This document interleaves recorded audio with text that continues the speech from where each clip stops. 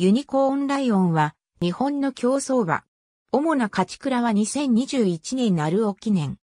1歳時にタタソールズオクトーバーセールにて、矢作義人調教師によって、クールモアとの競り合いの結果85万ギニーで落札され、来日。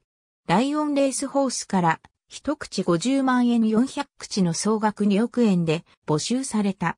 2019年1月27日、京都競馬場での3歳新馬戦でデビューし、一番人気に答え新馬勝ち。続く、椿賞はワールドプレミアの2着に入ったものの、重賞に挑戦した2戦では共に賞金を加算することはできず、クラシック路線は断念することとなった。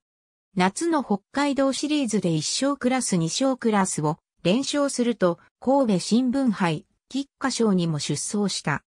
以後、3勝クラスでは一度2着があったのみで低迷を続けていたが、8ヶ月半の長期休養明けで臨んだ2021年5月のストークステークスでは18番人気の低評価を覆し3着。続く、ヤヒコステークスでは2番手から粘り込み、1年10ヶ月ぶりとなる勝利を挙げ、オープン入りを果たした。オープン初戦は、鳴尾記念に出走。2頭の GI 馬を含むメンバー構成だったが、スタートから先手を取り、スローペースの逃げに持ち込むと、直線でも後続を寄せ付けず3馬身半差の干渉。重賞初制覇を飾り、また管理する矢作義人調教師にとっても JRA 重賞通算50勝目という節目の勝利となった。続いて宝塚記念に出走。一番枠から先手を主張し、逃げの競馬に持ち込む。1000メートル通過60.0秒の淡々としたペースを刻み、3コーナーからベースアップ。直線では勝ち馬のクロノジェネシスにはかわされたものの、一発刺されたレイパパレをゴール前差し返す粘りを見せ2着となった。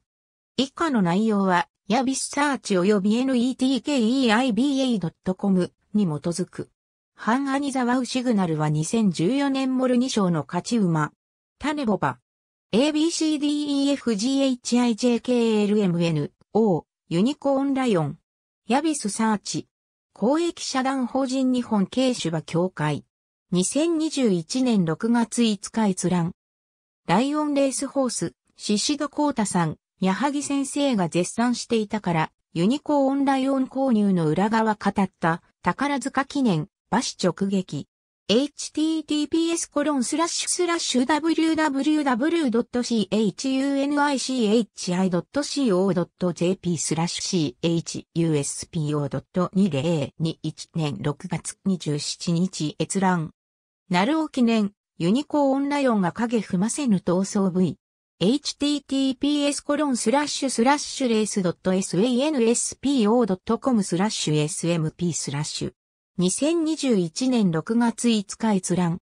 宝塚記念、ユニコーンライオン最内から逃げ粘り2着、鞍上坂井、悔しい。https コロンスラッシュスラッシュ p.nikkansports.com スラッシュ goku ダッシュ uma スラッシュ m スラッシュ index sp zpl 2021年6月27日閲覧ユニコーンライオン競走成績。 JBIS サーチ。公益社団法人日本軽種馬協会。2021年6月4日閲覧。ユニコーンライオンの競走成績。 netkeiba、Net Dreamers Co., Limited、2021年6月4日閲覧。ありがとうございます。